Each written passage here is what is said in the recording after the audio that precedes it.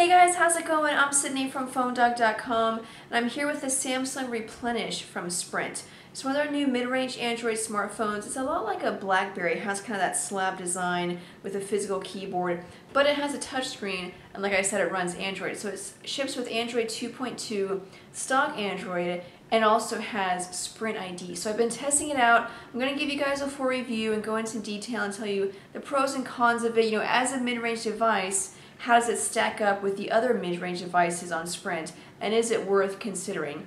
So to Samsung Replenish from Sprint, before we get on to the review, I had to say a special thanks to our friends at Best Buy Mobile. They send us free phones that we can add to our One Paw Bandit game, which is the game where you can win free phones. One of the great things about Best Buy Mobile is that they sell phones from every major U.S. carrier, including a lot of prepaid carriers. So if you're shopping around and trying to decide, you know, should I go with this carrier or this carrier, should I get this phone, you can compare all of the phones in one store without having to go to several different stores. So thank you Best Buy Mobile for being so awesome. Thank you guys for watching this video. I'm Sydney from PhoneDog.com and let's go check out the Samsung Replenish. Okay, so here we go with the Samsung Replenish from Sprint. And before I start, I want to let you guys know that I usually use a microphone for these videos, uh, but the battery in my mic went out. So I'm using the microphone, the camcorder, and I understand the camcorder has a a clicking noise or a ticking noise, uh, which is why I usually use a, use a, microphone. So I'm sorry about that, but hopefully it'll just be temporary and it won't annoy you too much. But anyway, so here's the phone, the Samsung Replenish, and it is sort of a you know a mid-range device. But one of the things I like about it is that even though it is you know that mid in that mid-range category, it still looks you know very professional and very business-like. You can see it has kind of that BlackBerry design, and then sort of the same design up front too, like a BlackBerry, except it's definitely longer and then this is actually a touchscreen. So it's a, kind of a smaller touchscreen than you know what we see on most Android smartphones. It's a 2.8 inch screen and uh, whenever I first started using the phone and I, and I, did the unboxing my first impression was that I thought the display was going to be too small and I understood that it was going to be somewhat small just because of the form factor but then you know when I saw this bezel around the, the display it's, it's so thick you know, I thought they could have added some screen real estate and made it just a little bit larger. And so I was kind of, you know, worried about that. But then once I actually started using the device, it actually, you know, I got used to it and it didn't bother me as much. And, uh, you know, I didn't feel like it was too small anytime I was web browsing or using apps. You know, I got used to it to the point where it didn't bother me at all. I thought the display was, was fine. So, you know, it is kind of small. Keep that in mind. But if you are worried about that, you know, I don't think it will be an issue because I was worried about it too and it ended up, you know, not being as big of a problem as I thought it was. Now, it does kind of have a low resolution, uh, 240 by 320, so, you know, kind of in that, again, that mid-range category. Once you get close, I don't know if people to tell, but the text does kind of get pixelated and so you know certain graphics are kind of rough you see these widgets that I have on the home screen here on any other smartphone that kind of had a higher resolution, they look a lot better. They look kind of rough now. Um, but, uh, you know, again, that's something to expect just because the category that it's in, you know, it is going to kind of have that lower resolution. Now, it's an Android device. It ships with Android 2.2. Uh, it's actually version 2.2.2, but you know for the most part it's Android 2.2, and it's stock Android as you can see, so no custom skin here. The only sort of you know custom feature that Sprint has added is Sprint ID.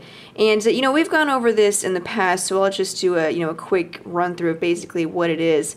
Uh, you can download these ID packs, and so you go to get new and it has the store right here, but it's based on themes, you know, entertainment, uh, movies, music, uh, car, you know, business.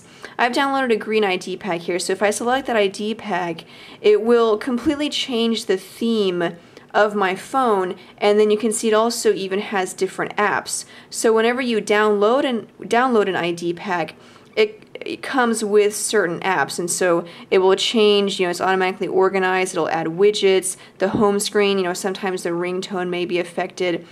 Now, you know, I don't really see very much use in the Sprint ID idea just because, you know, I'm not necessarily going to want to switch my theme just because I want to use a movie app. You know, I would just download that app and then use it whenever I need it. So, you know, I wouldn't necessarily use it very much in terms of, you know, switching themes.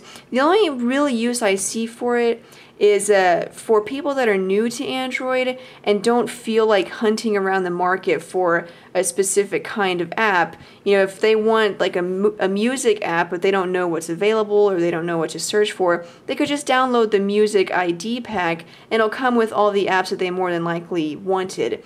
So, you know, it's kind of useful for that, but then again, you don't have to switch themes. You can just stay with your home theme and then those apps are already there. So, you know, kind of a use there, but still not in terms of changing the theme, at least not in my opinion. But that's just a quick run through of, of Sprint ID. And it does ship with that. Uh, along with 2.2, and then like I said, it's stock Android, so nothing is really changed here.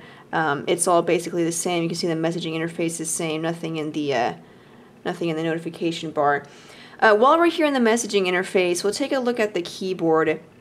And uh, honestly, this is one of the best physical keyboards that I've ever used. And I could tell as soon as I started using it that it was a good keyboard. Uh, just right off the bat, the keys are, you know, they're kind of scrunched just because the form factor, you know, the keyboard is going to be a little, you know, not as wide as your typical, you know, full QWERTY keyboard. Um, but the, uh, the keys have this bubble design, this bubble texture. So let me see if I can put it at an angle and get a good look. See, it's kind of that bubble texture. So even though they're not really island style keys, having that bubble texture, you know, allows you to easily differentiate between each key. And then also another thing that I really like about it is that the keys aren't too firm. So sometimes when the keys are too firm, it's either you have to press so hard that your thumbs get worn out, or you're pressing so hard and there's not enough grip on the keys and so my fingers tend to slide around the keys and it's just hard to get a good grip on them and therefore it's it's hard to type as fast as I want to. But not a problem here. Overall it's just a great keyboard. They are kind of those plasticky keys so not not rubbery. Um, it's plastic texture but still um, a great keyboard and just very well designed uh, over the lazy dog. And uh, then you have these four physical Android buttons for menu, home, back, and search, and they're actual physical buttons, not touch-sensitive buttons. Then you have the dedicated camera button, the voice command button, power button, 3.5 millimeter headphone jack, and the volume rocker button. On the back is the keyboard, or the keyboard, wow, nice. On the back is the uh, camera, and it's a 2 megapixel camera, and it's a low quality camera, you know, 2 megapixels is not autofocus, it's just a fixed focus camera, and as you can see there's no flash. It does capture video, but it's very, very low resolution. It's 352 by 288, so extremely low resolution. And, uh, you know, I was kind of concerned, again, about the camera, you know, being just a 2 megapixel fixed focus camera, but picture quality was actually much better than I thought it would be. Now granted, you know, because it doesn't have that autofocus and it's kind of a, you know, low megapixel count, when you take a picture and you get close to it and you zoom in, you can see the picture, it is kind of rough around the edges of, you know, whatever the object is that you're capturing. So, you know, it's still not perfect and, you know, color saturation wasn't entirely there, but it was much better than I thought it would be. The colors showed up, you know, more rich than I thought they would be. You know, again, you know, not not perfect and, you know, probably won't stack up to other like 5 megapixel cameras but still better than what I expected. So, um, you know, kudos to Samsung there because I was expecting a very mediocre poor, you know, low quality camera, um, but I exceeded my expectations, you know, good for snapshots and, you know, uploading to Twitter or Facebook or, you know, again, if you're a business user using it in, in emails, I think it'd be a good, good use for that.